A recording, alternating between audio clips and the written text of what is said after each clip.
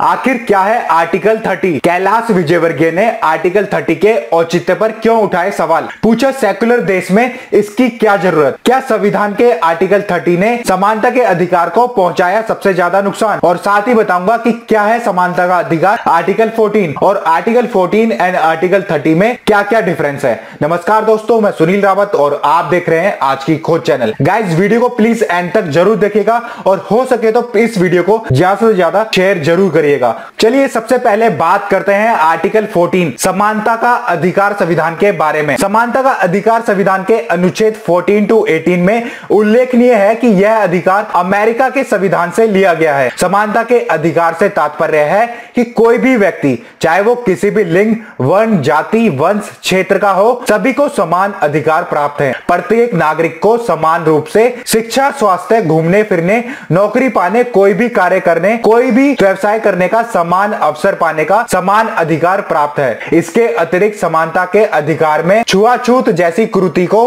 अंत करने का प्रयास किया जा रहा है। यह अभी तक खत्म नहीं हो पाई है। भारतीय संसद अधिनियम 1955 द्वारा अगर कोई व्यक्ति छुआछूत का समर्थन करता है तो उस पर जुर्माना लगाया जाएगा। वह कठोर कारावास का प्रावधान भी है। चलिए आर्टिकल 14 के बाद अब बात करते हैं, क्या है आर्टिकल 30 अल्पसंख्यकों के पास स्थापित शैक्षणिक संस्थाओं का व्यक्तिगत नियंत्रण होता है है और उस पर सरकार का कोई हस्तक्षेप नहीं होता है। अल्पसंख्यकों को इसी विशिष्ट अधिकार का संरक्षण करता है संविधान का अनुच्छेद थर्टी। इसके मुताबिक धर्म और भाषा के आधार पर अल्पसंख्यकों को अपनी पसंद के मुताबिक शैक्षणिक संस्थाओं को स्थापित करने का अधिकार है। इसके अलावा इस अनुच्छेद के तहत देश की सरकार धर्म या भाषा को आधार मानकर किसी भी अल्पसंख्यक समूह द्वारा चलाए जा रहे शैक्षणिक संस्थाओं को वित्तीय मदद देने से इनकार नहीं कर सकती या उनके साथ भेदभाव नहीं कर सकती। अल्पसंख्यकों के शैक्षणिक संस्थाओं के गठन के साथ ही शिक्षा अधिनियम के अधिकार के अनुसार गरीबों के लिए 25 प्रतिशत सीटें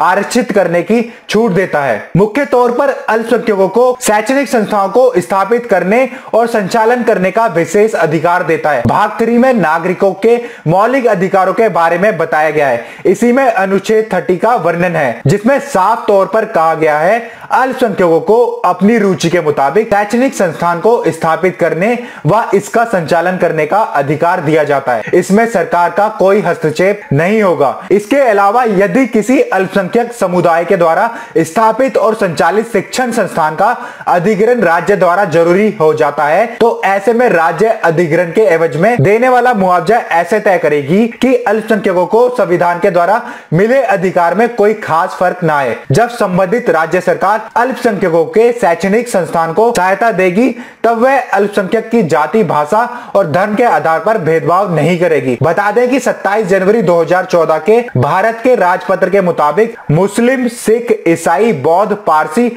और जैन को अल्पसंख्यक समुदायों का दर्जा दिया गया है। चलिए दोस्तों, अब बात करते हैं कैलाश विजयवर्गीय के थ्रू किए गए एक लेटेस्ट ट्वीट के बारे में, जहाँ कैलाश विजयवर्गीय ने आर्टिकल 30 पर क्वेश्चंस किए हैं। भारतीय जनता पार्टी के राष्ट्रीय महासचिव कैलाश विजयवर्गीय ने भारतीय संविधान के अनुच्छेद 30 के औचित्य पर सवालिया निशान लगाया है। भाजपा के नेता ने गुरुवार को ट्वीट कर कहा है की संविधान के अनुच्छेद थर्टी ने समानता के अधिकार को सबसे ज़्यादा नुकसान पहुँचाया है। कैलाश विजयवर्गीय ने अपने ट्वीट में लिखा, देश में संवैधानिक समानता के अधिकार को आर्टिकल थर्टी पार्टी ने सबसे ज़्यादा नुकसान पहुँचाया है। यह अल्पसंख्यकों को धार्मिक प्रचार और धर्म शिक्षा की इजाज़त देता है, जो कि दूसरे धर्मों को हासिल नहीं है। जब हमारा देश धर्म निरपेक्षता का हिमायती है तो इस अनुच्छेद की क्या ज़रूरत है? आपको बता दें, भारतीय संविधान के अनुच्छेद थर्टी के तहत अल्पसंख्यकों को शैक्षणिक संस्थान संचालित करने का अधिकार प्राप्त है। संविधान का यह अनुच्छेद कहता है कि सरकार मदद देने में किसी भी शैक्षणिक संस्थान के खिलाफ इस आधार पर भेदभाव नहीं कर सकती कि वह अल्पसंख्यक प्रबंधन के अधीन है। कैलाश विजयवर्गीय के इस ट्वीट पर कांग्रेस नेता के के मिश्रा ने पलटवार किया है।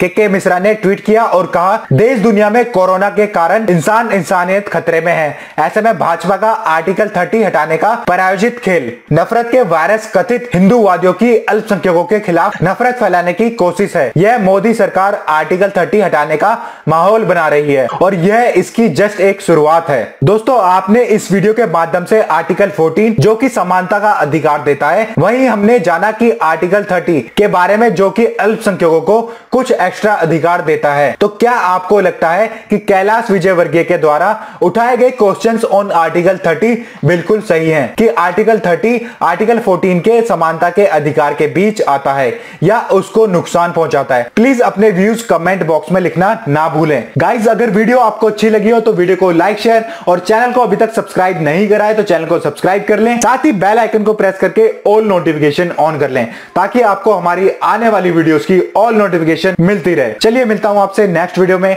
Till then take care and bye Vande Mataram.